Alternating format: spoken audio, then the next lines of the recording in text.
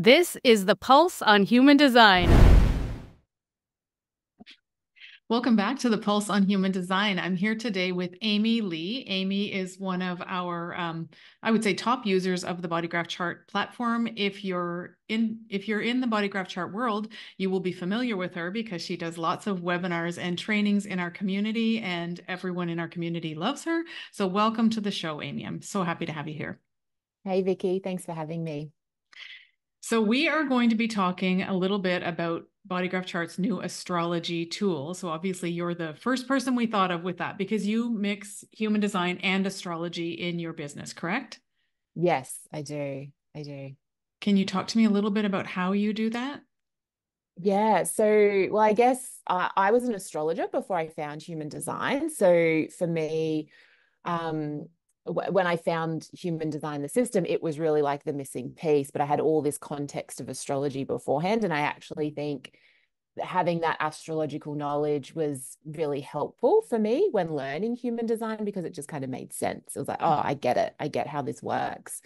Um, and so I really use both systems together. And that's what I teach in my courses is like how to weave both systems together because I think they're actually really complementary, you know, and I think you can, um, there's things that you can see in a person's human design chart that you can't get from their, you know, authority, mm-hmm. definition. Like there's all these different bits and pieces that are so practical in human design that you just can't get from astrology. But then there's so much from an astrological lens that really complements that information I find. So my approach is really like I use human design as the foundation, though, you know, like in my readings and you know, that's why I've, I've done human design reports first because I really think we want people in like their strategy and their authority. We want people understanding like the mechanics in that way.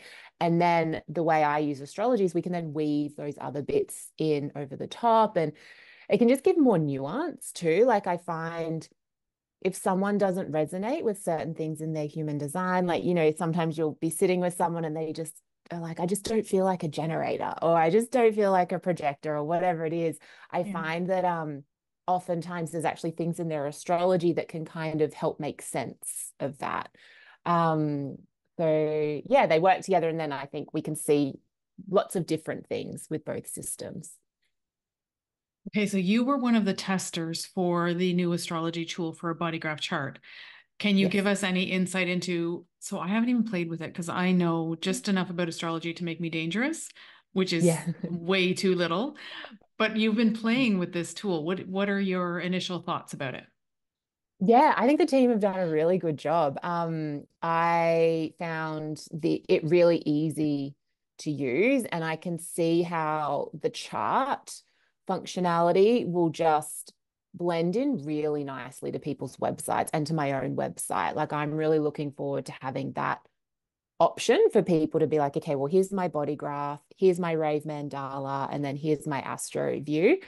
Um, so I think they've done a really good job. It's really comprehensive. Um, considering like this was a whole new uh like modality for mm-hmm. the body graph charts team to like dive into, you know, and astrology it's quite complex astrology charts. I think everyone's realized that. Yeah. Like a lot of people think human design's so complicated, it's so complex. It's like actually when you start looking at astrology charts, because there's so many different types of calculations, and it's been, you know, over thousands of years, it's been adapted and people are, you know, anyway, it's it's quite complex. So I think they've done a really good job. And I did play with the report tool as mm. well. Mm. And um, I found that really easy to use. So I'm really excited about that and the potential for people to um, layer, you know, like the human design pieces with the astrology pieces. I have a lot of clients who use the platform um, or students who use the platform and are looking to do more like specialized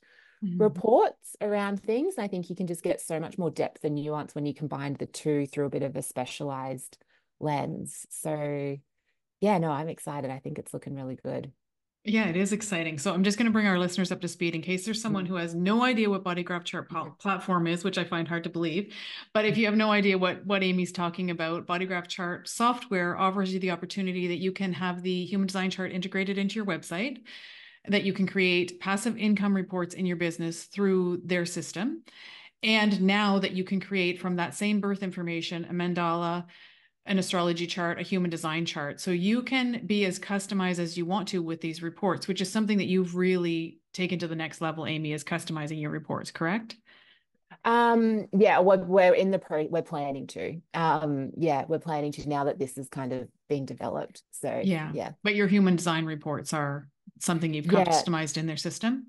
Definitely. Yeah. Well, yeah. Um, and uh yeah, but there's there's there's probably changes and things we're doing, but yeah. Always changes, right? Yeah, yeah. always, always, always why- we're changing. Which is why their system's so good because it does like I'm really excited to the do the astro reports in their system because I am someone who likes to adjust things and Mhm. add things and play with things and it makes it really easy for that. Um so yeah, it can keep evolving as you as you evolve and want to add more. Yeah, because these reports are pulled in real time from your uh, client's birth information on your website. So it is something that, as you know, in the back end, you can be changing, not like a Canva document or something where it's it's static and it's a big deal if you have to change things. This you just go in and, and flip around the the components, and it's really easy to do. So, what would you say to people about building a passive income stream in their human Yeah, design, well- astrology, whatever business? Sorry. Sorry, no, I interrupted you. Um, I yeah, look, I think reports or any kind of like uh the the reason I think the reports are so good is because they are like a lower ticket kind of offer, and I think they're a really great entry point for people into human design and astrology. And that's the feedback I've had, you know, with my reports because I was creating reports back in 2018 in my business, but I was hand making them, you know, like oh, before this platform existed. Yeah, as a quad right too. That was like not not Yeah. healthy. It was way too focused work for Yeah. me. Um, and so I stopped them for a year or so until yeah, the, this was ready.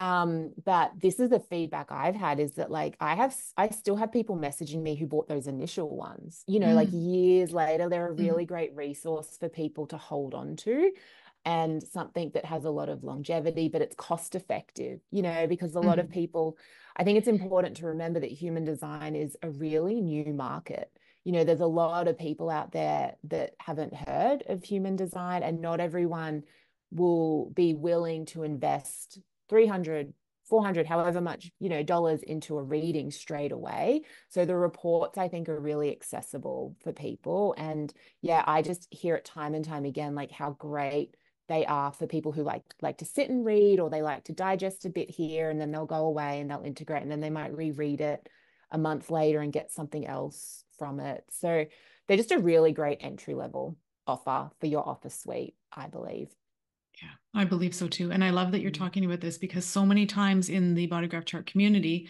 it comes up that, well, nobody's going to buy my readings if they can buy a report for 37 or 97 or 127 or I'm like, no, the opposite is true. People buy more. yeah Yeah. Yeah, that's exactly what I found. It's like entryway, they get a taste of your energy because a lot of people do really need to get a taste of who you are and your perspective before they would invest in something bigger. So I find, yeah, I find the opposite is true, that they lead people into readings really beautifully. And it means that you can go so much deeper in a reading and you're not having to Mhm. maybe rehash some of those more foundational pieces. Like if they've had time to read it and digest it, y- they get so much more bang for their buck, I think, than in a reading as well. And even if they have the report, so, you know, you may be listening to this and thinking, but I don't know enough to do a report and then to go deeper in a reading. But people need to hear this over and over and over again. Like you said, human design is such a new market. I love that you said that too, because Mm. I hate hearing, oh, it's so saturated. I'm like, oh my Yeah. God, saturated. We're like not even at the tip of the tip of the tip of the iceberg here with human design. So people need to hear. I mean, how many times when you think, how many times did you have to learn about your strategy? Or how many times did you have to learn about your authority or or any of the pieces, right? It it takes some time. So if you're listening and thinking, well, I can't give them that because that'll be too much. And then I have to go more into it in a reading and I don't have more information. They don't need more information. People don't need more information. They need to be able to understand how to implement. it. I think that's where the difference is between a report and a reading. When they're in the Mm. room with you, you get to help them actually embody the information. Yeah. Yeah, I agree. And also, I think the thing that, you know, you can't really do with a report is the synthesis part Mhm. too. And so I think like you know, when people come into a reading, it's like your opportunity to give them like a high level, like not self overview or a high level, like true self overview, and really pull out like what is it that I really see in your chart as like the big things here. Whereas um, it's no matter how great the functionality is of the platform, it's yeah. not possible to do that in a report and yeah and then it's your unique perspective that you're offering as well in a reading and questions too and, and it's probably the same for you Vickie but as a quad right like readings for me it's like the questions and people yes. pulling from me it's like that's kind of the magic of uh, of it you know you don't know exactly what's going to come out always yes. in a reading or the direction it's going to go in sometimes it's like you know things are happening in life and people really want to focus on like a particular area they're like i really want to talk about relationships or i really want to, want to talk about my work or whatever so you can really go a little bit more um like into like a specialized uh uh like uh perspective in a reading as well yeah, hundred percent. And even if you're not a quad right, Amy and I are both yeah, quad yeah. rights, which which is so interesting. But even if yeah. you're not, you're going to be able to guide your person through what they need you to guide them through like that's why you're here. So let's step off of that that pattern of thinking that you don't know enough because you know more than they know. I remember i had a, a retail store for 15 years and we were trained as mm. mastectomy fitters. And you know i remember the first time going into that room one of my staff members was absolutely terrified and and the trainer took her by the shoulders and said this woman needs your help and you know more than she knows about this. She knows nothing. And she went mm-hmm. into that room, and when she came out, it was like two transformed women came out of that room because one just chose to guide the other with what she knew. And that's what we do in human design is we just can choose to take what we know, meet people where they're at, guide them through what they're going through. And when you know more, you'll do more of that. But you're going to know what what you need to know in a reading, I think. Yeah. No, I love that perspective. Yeah. Uh, so I know that you have limited time here with us today, Amy. It's so exciting to get to spend some time with you. Any parting way, any parting thoughts for listeners? I'm kind of thinking about how would someone start to use this astrology tool in their business if they say they know a little bit of astrology or they know a lot of astrology and they've already got human design stuff in their reporting system with bodygraph chart how would you suggest they get started playing with this tool and using it in their business yeah, so I mean, there's so many in in astrology. We often, you know, if you if you're starting to learn astrology, firstly, like if you have no sort of awareness, but you're starting to like dive in and explore, and you want to learn more, um, we a common practice in, in astrology is to actually play with writing horoscopes. It's kind of oh, like how, okay. yeah, it's a big way. It's almost like a rite of passage, and it's a really common way that um so many branches of astrology encourage people to to learn is through like starting to share your perspective say on like a transit or something like that. So i would encourage people to play with the chart you know have that put that on your website. Like it doesn't hurt to just have that up so people have the option even if you mm-hmm. haven't created reports yet. Um and i would say experiment with that in your content. You know like maybe you want to because that, that's how i built my business was uh, you know my business really um, grew because I would share uh, horoscopes and insights for the new moon and the full moon you know and that's why i still do that. It's still a really big part of my marketing. Um, but it's such a good way to start learning more about the signs and the planets and things like that and you'll start integrating it as you're sharing and talking about it. So i would experiment with that. And then there is a lot to astrology but the main pieces to learn and where you can you know you can start sharing information um, fairly quickly is if you integrate the planet sign mm. combination. Mm. So, like, mm. what does it mean to have, like, say, like your Mars in Leo? What does it mean to have your Mars in Virgo? So, planet sign and then planet house combinations. So, Mars in the first house or Mars in the ninth house. And you can actually give people like a lot of information to begin with, just sort of integrating that.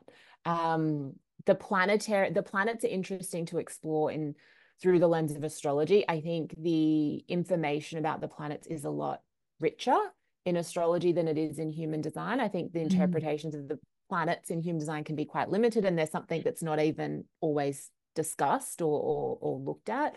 Um, so yeah, I would explore the planets, the houses, and the signs, and you can yeah start pulling together information from that. That's really really helpful. And I love the fact that you said should go ahead and put the astrology chart on their website. I didn't even really think of that. It's like, why not have it there? It's available to you to use. So use it in your website.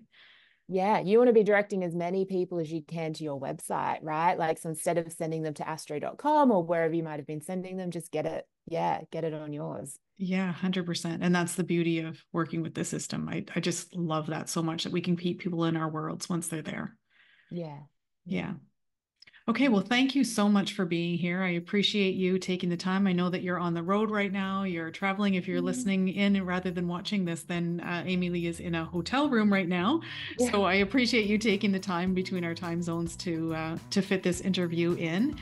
And um, just let us know where people can find you, and we'll pop that in the show notes as well. Yeah, yeah. So I'm mostly on Instagram, which is amylee.co, um, or myconstellation.co um, .co is my other site. Um, but thank you. This was so lovely. It was lovely to connect and yes. meet a fellow quad right. Yeah, so interesting. Thank you, Amy. Thanks, Vickie.